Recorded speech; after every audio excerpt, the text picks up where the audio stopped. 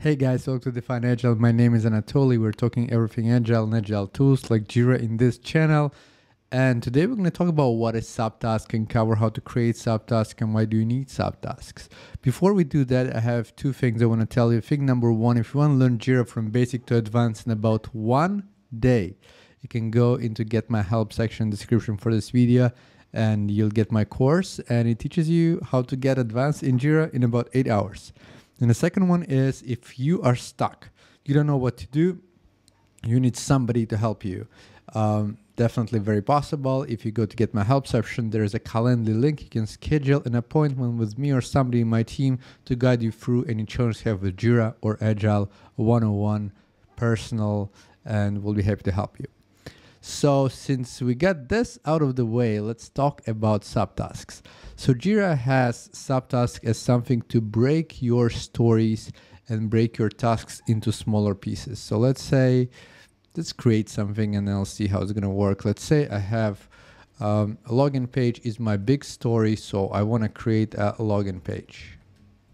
And let's say I do have multiple people that needs to work on this story login page have some front-end developer needs to work on the UI, have backend developer that needs to work on, um, let's say, the authentication part, and uh, I have some designer needs to create designs me for that. So a bunch of people need to work on this one thing. How can they work on this story without interlapping with each other? Where there are many ways you can do it and I'm personally not a big fan of subtasks because you cannot estimate them and you can create a lot of them and it will be a lot of mess. So if I would do that, I'll be honest, I would probably create separate stories for front end, for back end, and for designer. But if you want to use a subtask, you would create free subtasks. So you can go to your story and then you click create subtask and then you can create authentication.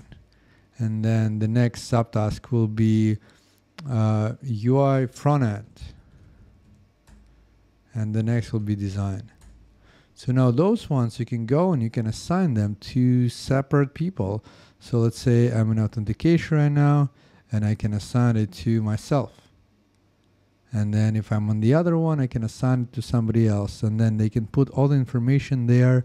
And this way they can track only their own things. And then when they're done with everything is done there, then we can close the story as well and mark it as done. So this is a pretty easy way to just split your story into smaller pieces so that you're able to uh, work on them separately for different people.